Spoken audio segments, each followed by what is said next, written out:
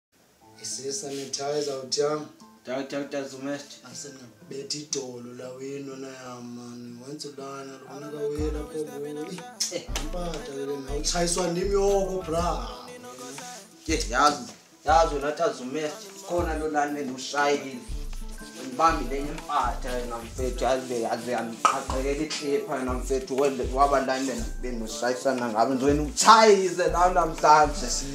utala msithi uyanditshayisa wena mane uxelela noobrazil uba uyanditshayisa Okay, ekuseni azomesthi masizwa ekusengimamele ntwana yam ubrazil siyamsika nale yam uyabhubhudla la uyambasela mfethu atshaye atsho athetha indaba la wemna ndiqalekeni la wena